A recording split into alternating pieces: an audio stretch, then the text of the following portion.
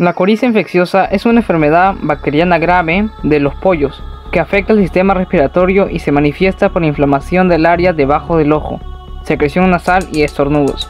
La enfermedad se encuentra en todo el mundo, causando grandes pérdidas económicas en los gallineros.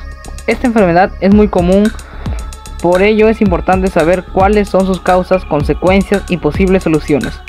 El día de hoy estamos en una colaboración con el canal Gallinero Urbano. Le doy las gracias por colaborar en este canal. Él y yo hablaremos y profundizaremos este tema de la coriza infecciosa aviar. Así que quédate y disfruta este video informativo.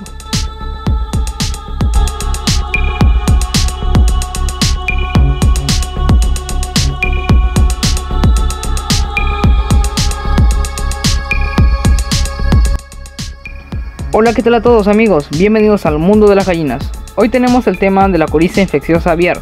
Como ya les dije en la introducción, esta enfermedad ataca principalmente al sistema respiratorio del ave y se manifiesta por inflamación del área debajo del ojo, secreción nasal y estornudos en nuestras gallinas. Es importante saber que esta enfermedad es muy contagiosa, por lo cual es importante separar al ave o a las aves infectadas. Los síntomas más relevantes y comunes de la coriza en nuestras aves son descarga nasal, lagrimeo, anorexia, diarrea y como principal identificación de la coriza es la inflamación en los costados del rostro de nuestra ave. Y si esta inflamación es más grave, hasta podría dejar ciega a nuestra gallina infectada. Bueno, ahora pasemos con los causantes que provocan esta enfermedad. Como número uno tenemos mala higiene de los comederos, bebederos y el gallinero en general. Una mala higiene en el gallinero podría provocar y mantener la bacteria Avibacterium paragallinarum, que es la causante de la coriza aviar. Número 2. Meter nuevas aves en el gallinero.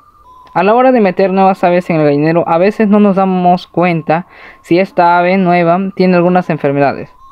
Esto provoca que a la hora de meter a nuestra gallina nueva, esta infecte a las demás, por medio de los comederos, bebederos o simplemente se pueden contagiar por la tierra.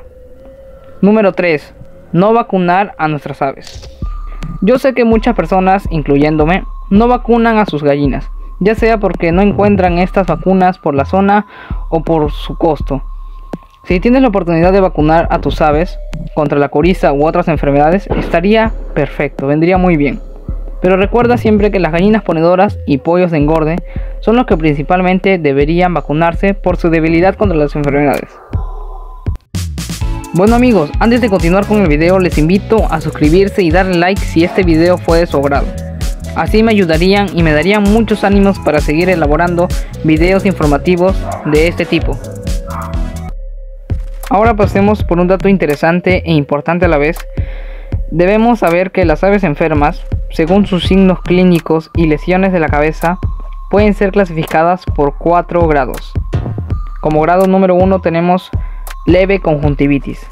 Como grado número 2, conjuntivitis con el ojo parcialmente cerrado e hinchazón de zona periorbital y senos paranasales.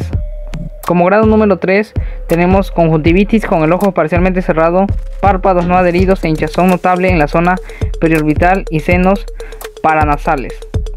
Como grado número 4, y esto es más grave, conjuntivitis con el ojo totalmente cerrado, párpados adheridos e hinchazón muy severa en la zona periorbital y senos paranasales.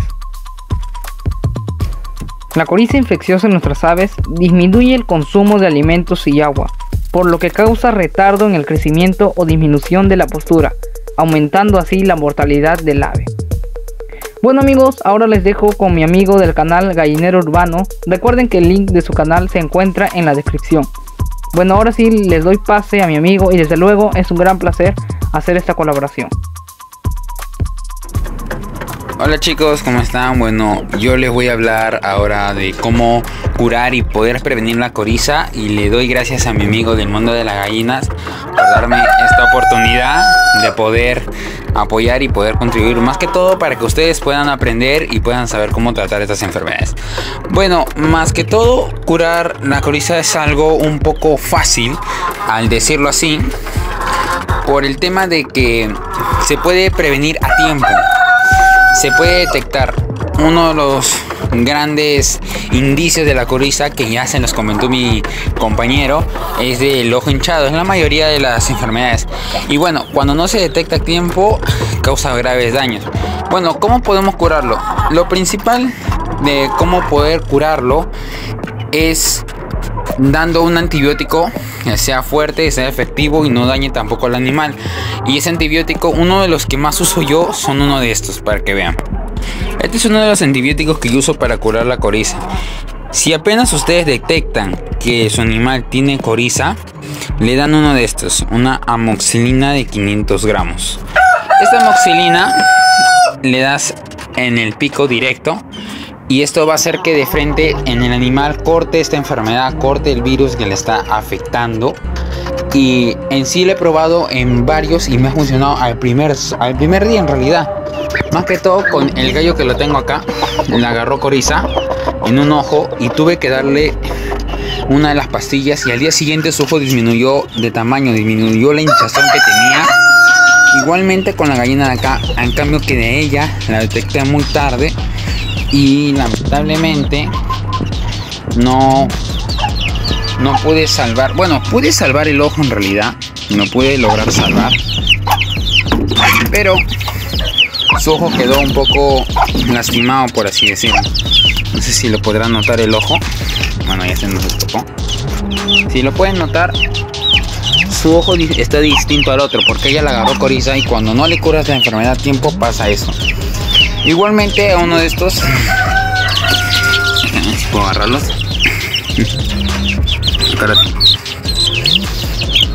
A él agarró coriza en un ojo, que es justamente ese. Estaba hinchado. Y para este le di, no le quería dar una moxilina de 500. ¿Por qué? Porque es muy fuerte para ellos a esa edad. Entonces lo que le di es esto. Es fácil de conseguir en las tiendas donde venden cosas para gallinas, gallos, animales de granja más que todo. Y es este. Es el pollón más o menos en gotas. También pueden darle en sobre, que es la misma cosa, en el agua. Yo este le di directo en el pico y lo cortó al día siguiente, así, súper rápido. Que son más que todos antibióticos que cortan la enfermedad de frente. Atacan donde se está infectando y la ataca de frente. Ahora, segundo, ¿cómo poder prevenirlo? Es muy fácil prevenirlo uno, manteniendo la limpieza en el gallinero. Haciéndola más o menos. Si tienen un gallinero chico, haciéndola una vez al mes. Si tienen uno grande, intentando hacerla cada dos, tres semanas más o menos. Intentando mantener la limpieza en el gallinero. Y en un próximo video estaremos explicando cómo poder hacer una limpieza correcta y una desinfección excelente para que el gallinero no vuelva a agarrar enfermedades. Intentaremos hablarles sobre cómo poder desinfectar correctamente un gallinero y es más que todo eso para poder prevenirlo. Y si ven un animal que tenga esa enfermedad y en la primera vez no se le cura no baja tienen que separarlo de los demás tener una jaula aparte. Justo yo tengo acá una jaula es mi jaula de cuarentena. Acá donde yo pongo los animales que están enfermos para que no puedan contaminar a otros. Y más que todo eso es lo que le podría decir para que se pueda saber más de la coriza y ustedes puedan también tratar a sus animales no de una forma muy agresiva, sino de una forma que sea amigable con el animal y pueda más que todo sanarse y curar y nosotros podamos ver a nuestro animal crecer fuerte y sano. Y bueno chicos, este ha sido todo el video. Pido, doy muchas gracias a mi amigo del mundo de las gallinas por darme esta oportunidad. Y nos vemos en un próximo video chicos. Hasta la próxima. Bye. Las gracias son mías, brother. Y bueno, espero que les haya gustado este video y que les haya servido la información brindada aquí. Nos vemos hasta la próxima amigos, adiós y que tengas un buen día con tus gallinas.